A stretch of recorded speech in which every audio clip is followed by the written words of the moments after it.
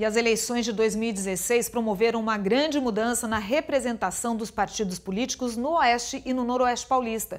O Partido Verde e o PSD viram a quantidade de prefeitos eleitos disparar. Já o PT e o PSDB perderam bastante espaço. O PSDB, que comanda 55 prefeituras, perdeu 19 vagas e terá 36 prefeitos na próxima legislatura. O Partido Progressista também perdeu muito espaço. Hoje tem 13 prefeituras, mas elegeu apenas três para a próxima legislatura.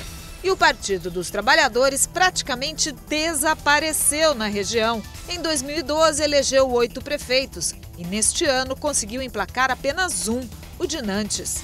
Por outro lado, o PSD viu a representatividade aumentar de 8 para 20 prefeituras. E o Partido Verde, que comanda sete prefeituras atualmente, terá 18 prefeituras a partir de 2017.